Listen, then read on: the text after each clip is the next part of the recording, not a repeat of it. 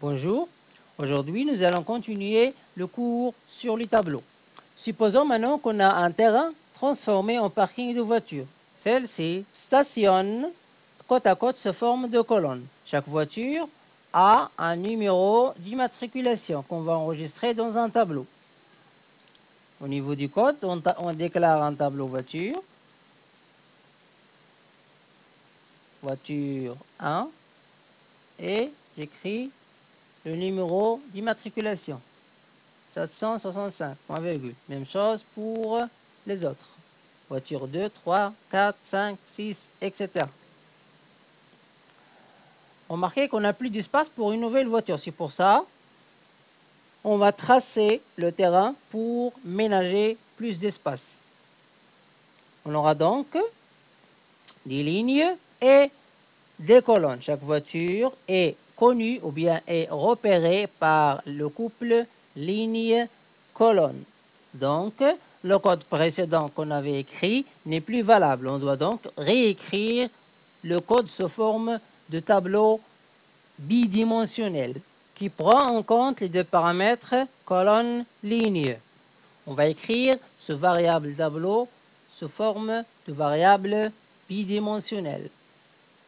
On écrit col, colonne 1 et ici ligne, ligne 1.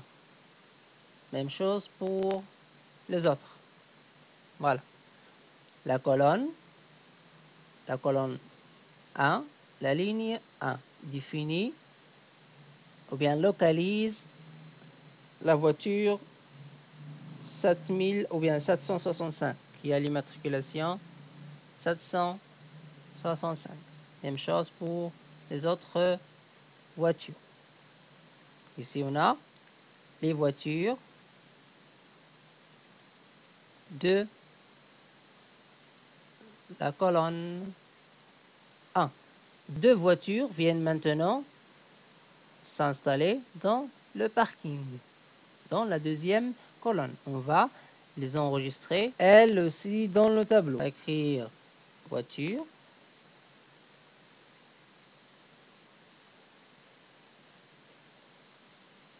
Colonne 2 et ligne 4 égale numéro d'immatriculation 558 point virgule. Même chose pour l'autre voiture. Les voitures de la colonne 2 on va maintenant retracer le reste du terrain pour avoir plus d'espace. Trois nouvelles voitures viennent d'être parquées. On va les insérer dans le tableau. Les voitures de la colonne 5.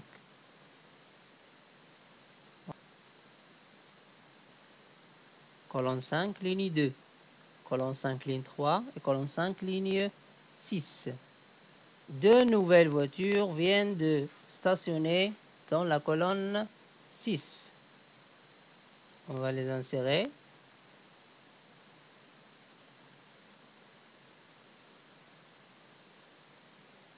Les voitures de la colonne 6. Colonne 6, ligne 5 et colonne 6, ligne 7. Trois d'autres voitures viennent de stationner dans la colonne 3. On va encore les enregistrer.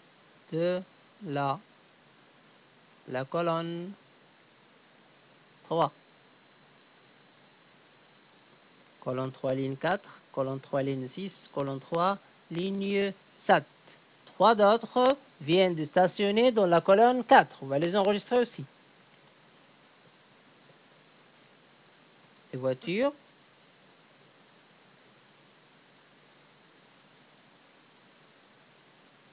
la colonne 4. On va les écrire. Colonne 4, ligne 1, colonne 4, ligne 5, colonne 4, ligne 6. Pour imprimer tous ces éléments, on utilise Print R et on écrit la variable ou bien le tableau voiture. Point virgule, on enregistre. Exercice 5, fin PHP. J'ouvre le navigateur. Exercice 5. Voyez les, toutes les voitures qui se trouvent dans le parking. Celle de la colonne 1.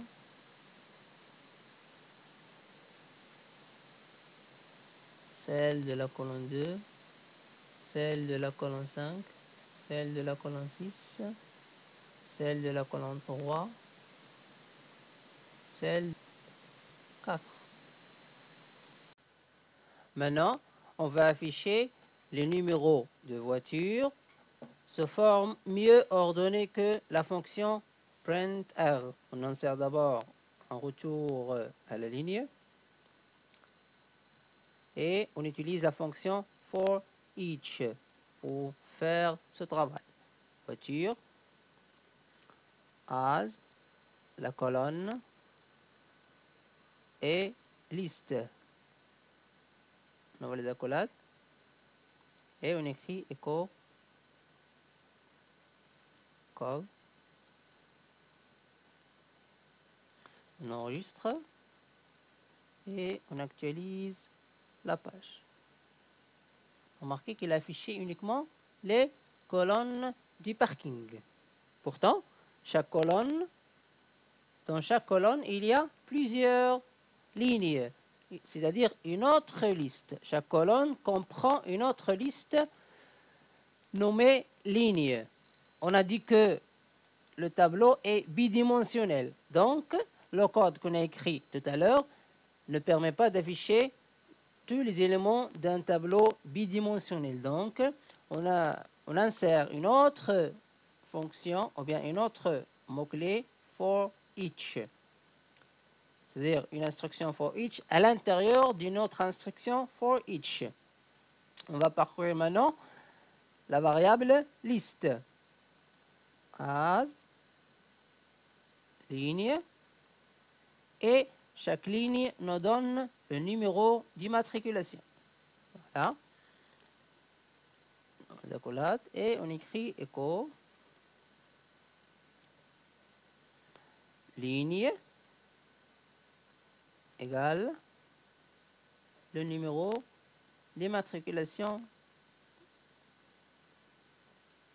de la voiture qui se trouve dans cette ligne. On enregistre et on actualise. Voyez, la colonne 1 et les voitures et la ligne où elle est stationnée. Même chose pour la colonne 2, 5, 6, 3, 4. Maintenant, on va porter quelques modifications sur le code pour qu'il soit plus clair. Pour ça, on utilise la fonction str replace qui permet de remplacer les, les occurrences d'un mot par un autre dans une variable. On va remplacer le mot call par la colonne numéro, bien la colonne tout simplement, et cette action, ou bien ce remplacement, se fera au niveau de la variable call. Fait la même chose pour les lignes. Ligne, str, replace, et on va transformer le mot ligne par la ligne. Elle va faire cette action dans la variable ligne. Ici, fait un petit changement. La voiture portant le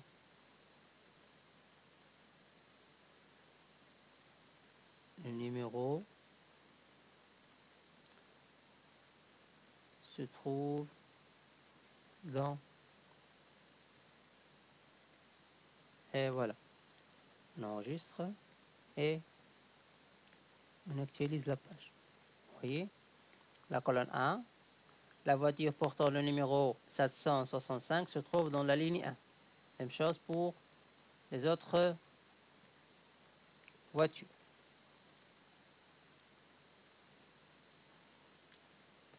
Maintenant on va faire un, un autre changement. Écho. Je vais afficher dans la colonne dans la call il y a count. À compter le nombre de voitures se trouvant dans chaque colonne.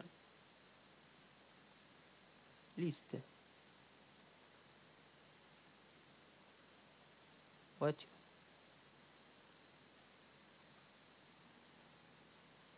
Le nombre de places vides dans la colle et deux points on ouvre la parenthèse. On va le nombre de places max c'est 7 on va en soustraire le nombre de, de voitures qui sont dans la colonne. C'est-à-dire count liste voilà on enregistre.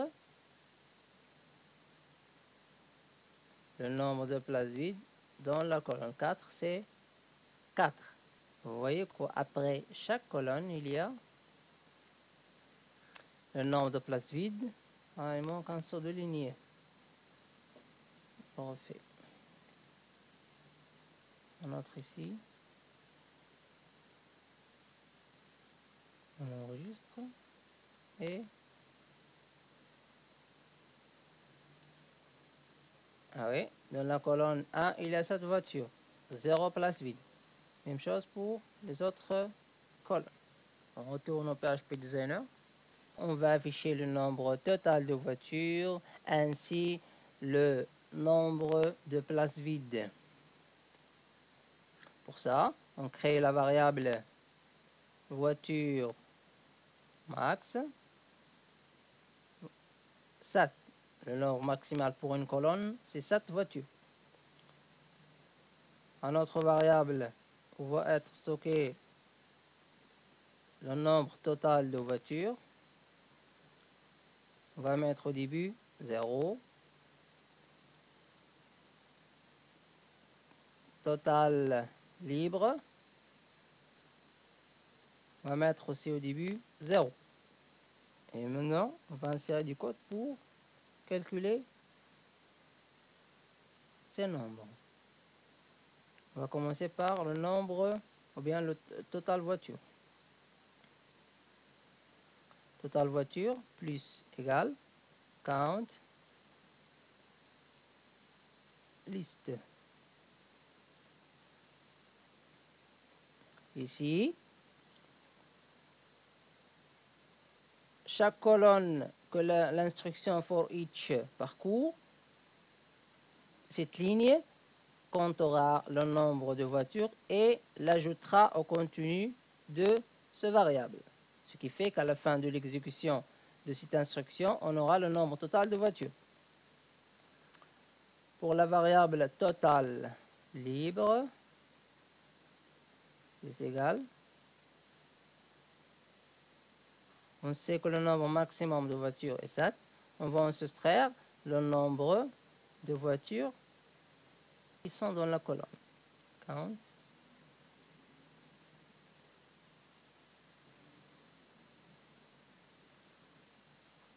Et on les affiche. Echo.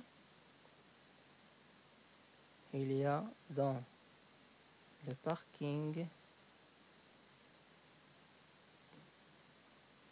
total voiture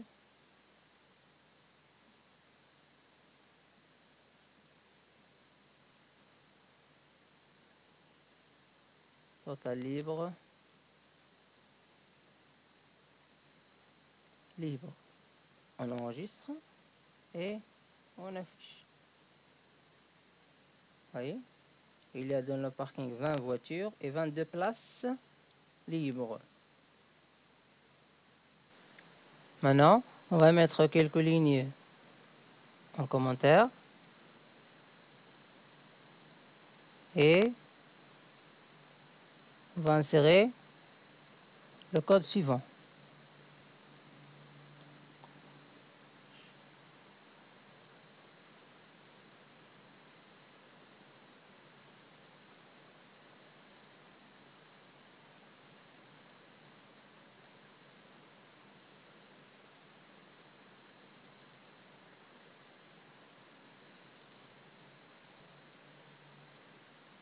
Et on affiche. On clique sur exercice 5. Maintenant, on va écrire quelques variables ici. Il faut d'abord faire, bien écrire un point virgule et j'écris le nom du variable. Par exemple, cours égale PHP. J'écris l'opérateur AND. Un autre variable, type égale vidéo, l'opérateur AND et un autre variable. Par exemple, temps égale 25. Et je tape Entrée. Remarquez que ce que j'ai écrit ici vient de s'afficher. Alors, ces variables-là que j'ai écrites ont été aperçus par le tableau associatif de l'art get. C'est lui qui a intercepté les données ou bien les variables que j'ai saisies dans la barre d'adresse. Après le point euh, d'interrogation. Le premier variable, et j'écris un opérateur AND. Le deuxième variable, l'opérateur AND. Et le troisième variable. C'est bon? Donc ça, il est enregistré dans le tableau $get. Ce code permet d'afficher son contenu. Pour mieux comprendre, quand vous saisissez un mot de passe dans un site, le mot de passe que vous utilisez quand vous cliquez sur OK ou bien Valider est, est aperçu par ce tableau. Ce qui permet de traiter, de vérifier le mot de passe s'il est correct ou non euh, dans le code. Donc si on veut euh, transférer un variable ou bien des données d'une page à une autre, il sera aperçu par ce tableau associatif get, $get. Ce tableau-là, on va l'utiliser d'une façon très large dans les prochains, les prochains cours. C'est tout pour aujourd'hui et merci.